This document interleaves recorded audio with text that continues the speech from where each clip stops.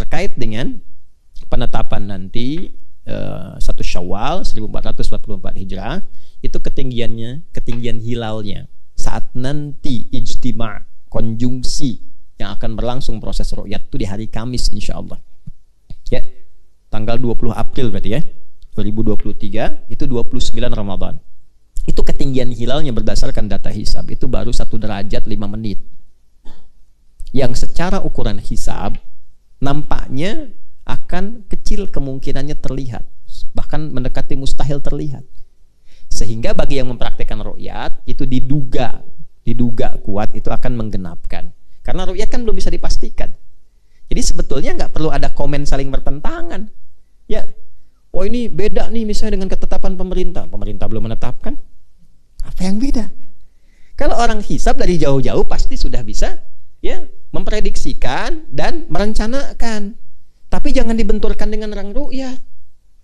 Oh ini beda sendiri. Beda gimana Joni? Kan belum dilihat. Kalau belum dilihat belum ketahuan. Kalau Anda menetapkan sudah ketahuan beda, berarti Anda pakai hisab. Kalau Anda pakai hisab, berarti hisab Anda salah. Ya kan?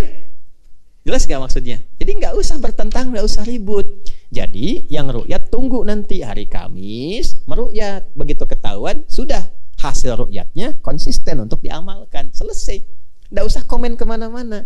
Yang hisab jangan merendahkan yang rukyat.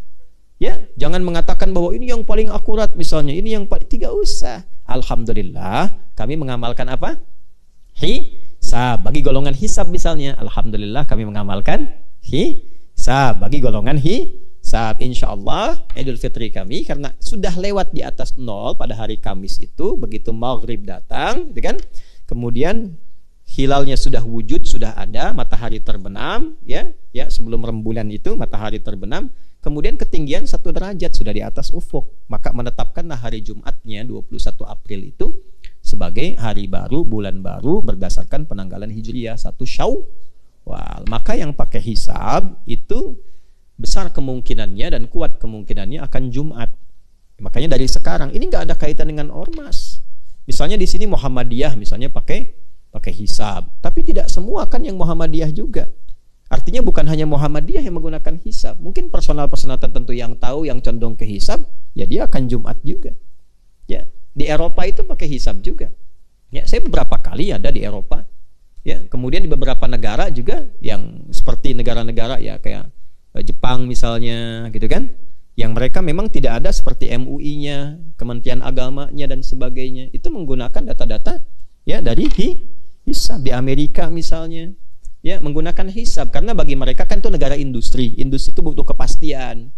Ya, kapan ini pastinya Idul Fitrinya, Ramadannya kapan sehingga bisa mereka menata aktivitas dalam dunia mereka, dunia dagangnya, dunia bisnisnya, dunia birokrasinya dari jauh hari udah ketahuan. Ya, kalau menggunakan ru'yat itu harus nunggu dulu. Sementara kan liburnya mesti pasti kapan kerja, kapan libur. Itu di dunia eh, selain di Indonesia, negara-negara selain Indonesia. Tapi yang pakai ru'yat juga ada nanti. Beberapa negara Timur Tengah. Ya, pakai menggunakan apa? Ru'yat. Jadi tidak usah dipertentangkan. Jelas ya? Alhamdulillah. Jadi kalau memang akan Jumat, Jumat sholat ya tidak perlu merasa kecil. Kalau sudah yakin, jangan ada keraguan. Sholat ya sholat. Jelas? Lalu hormati yang Sabtu. Boleh jadi menggunakan tempat yang sama. Ya, di alun-alun misalnya kan, oh ini alun-alun lapangan besar, kebanggaan misalnya kan, ya sudah. Yang Jumat fasilitasi di situ, pemerintah fasilitasi. Yang Sabtu fasilitasi. Jadi indah terasanya. Ya, bukan yang dibesarkan tuh bukan kenapa nggak bersatu? Kenapa? Oh, anda belum paham berarti dasar penetapan dalilnya. Jelas? Ya. Oh, yang kunut aja ada, yang tidak kunut ada. Sekarang nggak ada masalah kan? Yang salah itu yang nggak sholat subuh kan? Huh? Jelas? Baik, jadi yang Jumat bo boleh. Kalaupun ada yang Sabtu bo boleh. Yang salah bukan yang tidak sholat, yang tidak sholat pun kan nggak salah karena itu sunnah kan? Huh?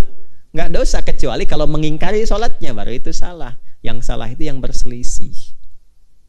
Ya, mencari peluang untuk ribut ya di atas persoalan dalil yang memberikan kemudahan. Jelas?